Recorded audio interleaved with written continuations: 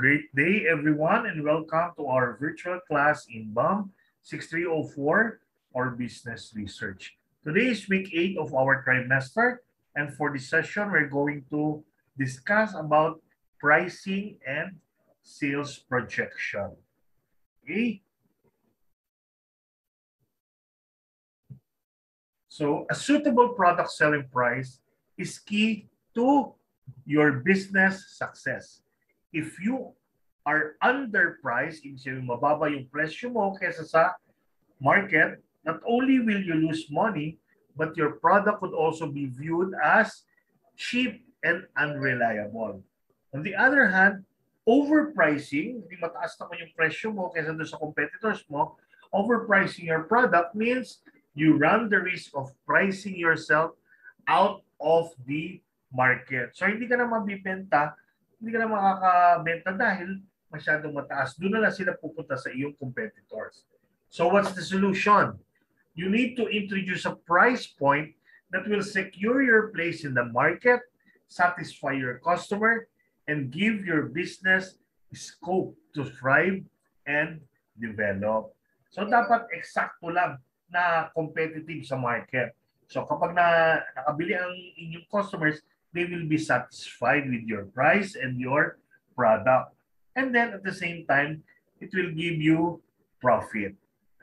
So we will be using two two types of uh, pricing.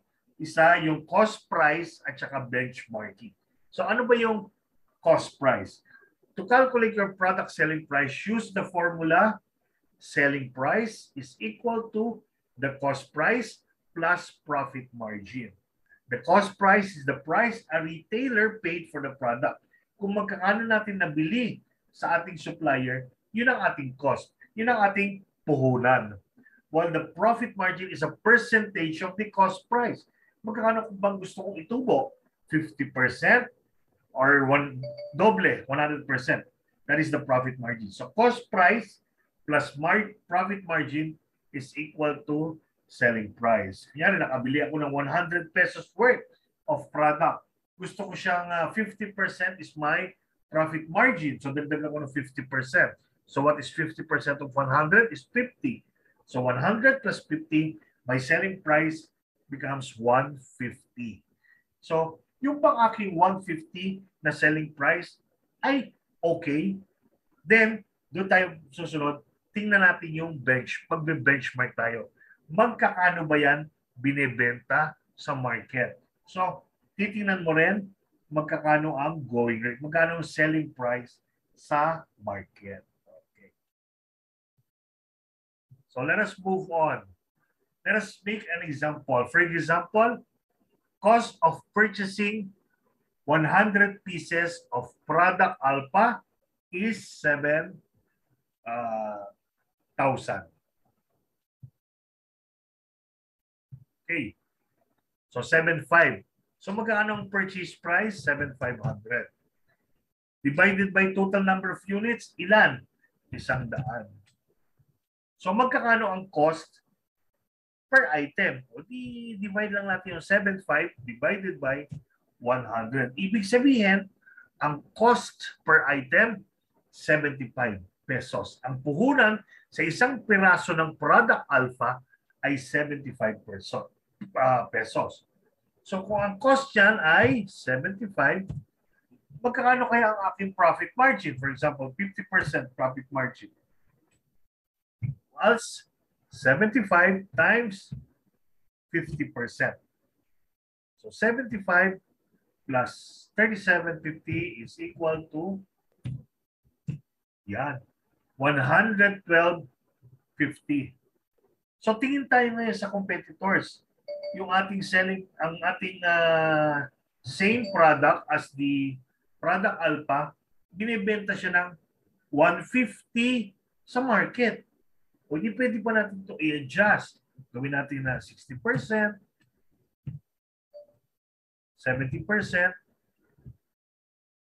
80%,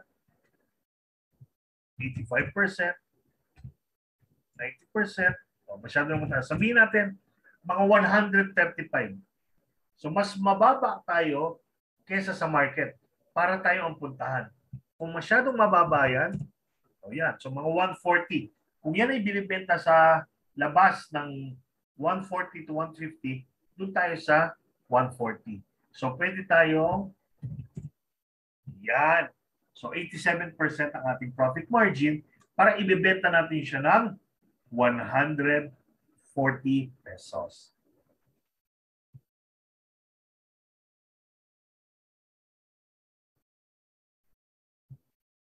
Okay, this is an example for a retail business.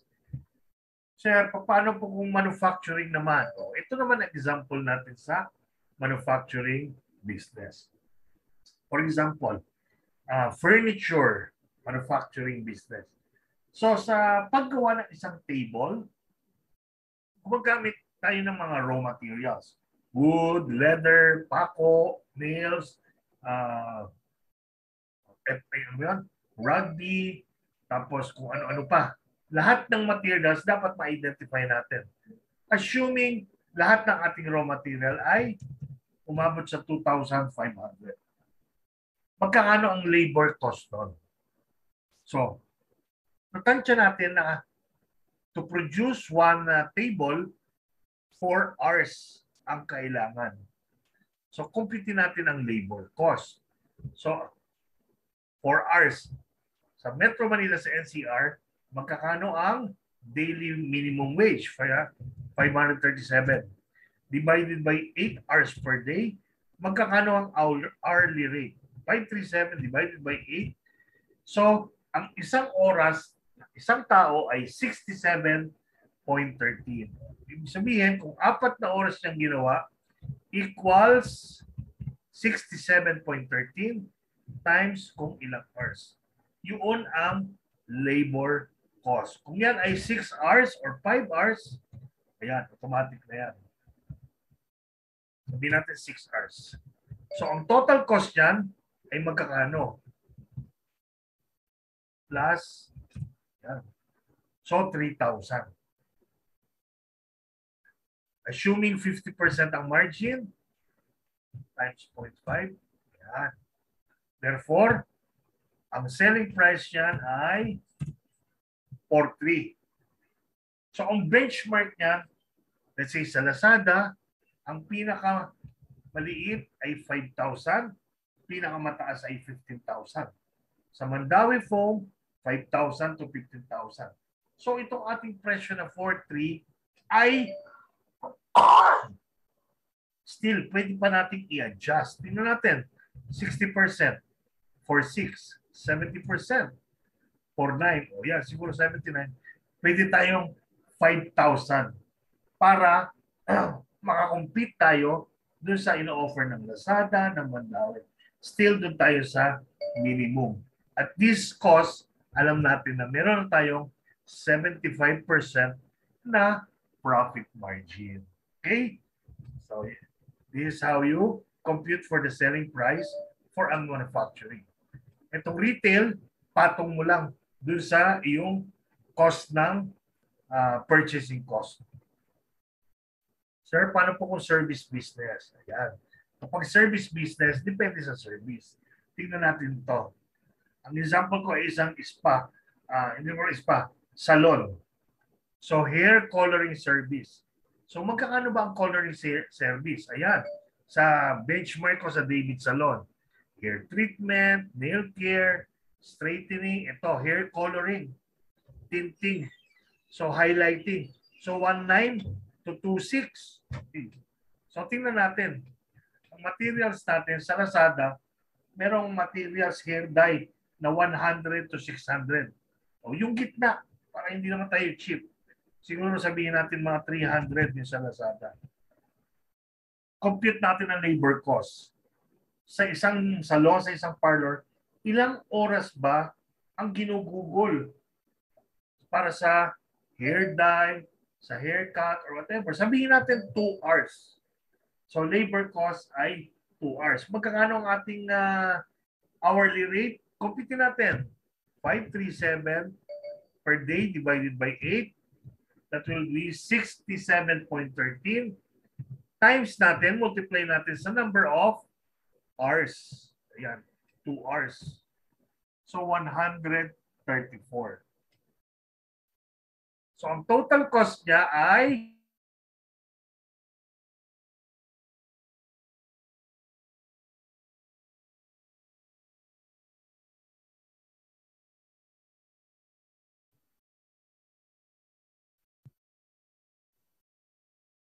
four hundred thirty-four point twenty-five. Plus, sabihin natin, let's begin with 500, uh, 100 percent. So magiging total niyan ay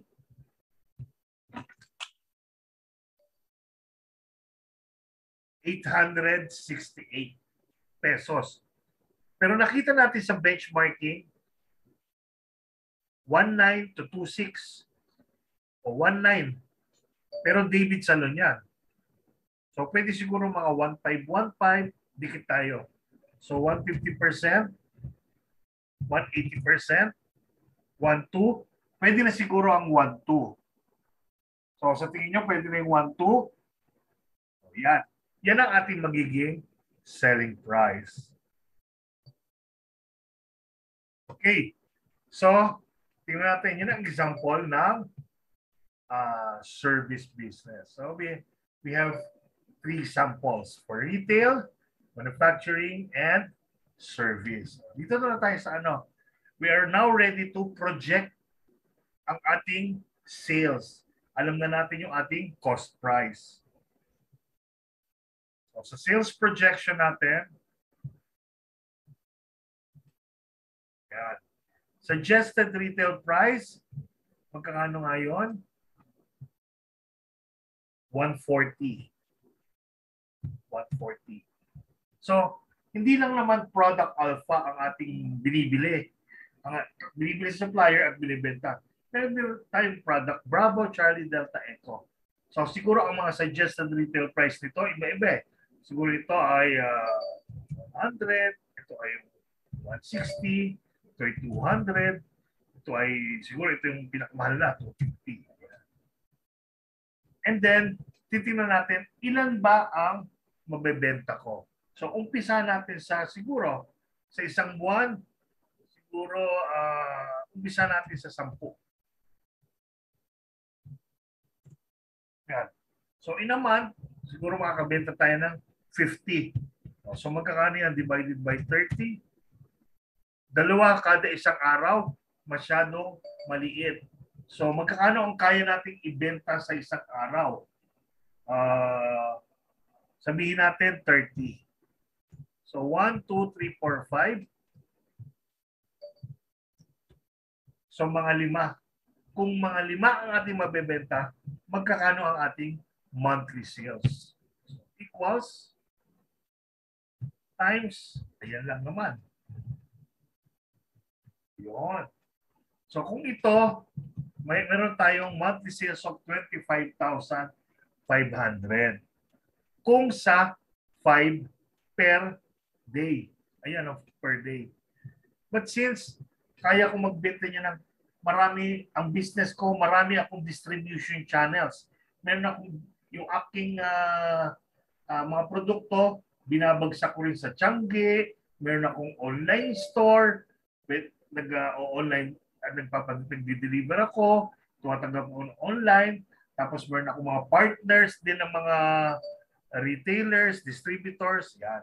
So siguro sabihin natin sa isang buwan 100. Yan. So ibig sabihin 16 lang ito. Kaya pa. Sa isang araw uh, 200. 30. So 250. 40. Ayan. Sa isang araw 50 kaya kong makabenta. So therefore magkano ang monthly sales ko? 255 uh, thousand. In a year, 3,060,000. Yan. So yan ang aking sales projection. Pero syempre, meron niyang costing. Magkano ba yung cost niyan? So dito tingnan natin, magkano ang cost ng product alpha. Balik tayo sa ating computation. O remember, itong product alpha ay nabili natin ng 7.5. So ang cost niyan ay 75 pesos. So kung tutuusin, magkakano ang ilang percent? This divided by selling price ay 0.54. So 54% ang cost ng ating produkto. So since na-complete natin to, inassume na lang natin na lahat sila ay ganito rin ang costing. So ibig sabihin, equals 100 times 0.54. 0.54. Kopyahin natin yan. So yan ang costing. Yung ating binibenta ng 100, 54. Yung 160, 86.4. Yung binibenta ng 200, 108. Yung 250, 135. So tingnan natin ngayon, magkakano ang monthly cost of sale equals number of units sold times cost per unit. Cost of sale per unit. Yan. So, yan. 22,500, 16,2, 25, 9 for a total of 137,520 per month. Sabihin, meron akong gross income na 42 minus 22.5 thousand. So all in all, ito ang aking monthly sales, less cost of sales, monthly gross income. Of course, i-multiply lang natin siya sa 12 to get our year 1 uh, totals. Total sales, year 1 total cost of sales, year 1 gross income. Using this, pwede na tayong ilista na natin sa ating income. So, kung alam natin yung year 1 was ayan. Magkakano yung cost of sales?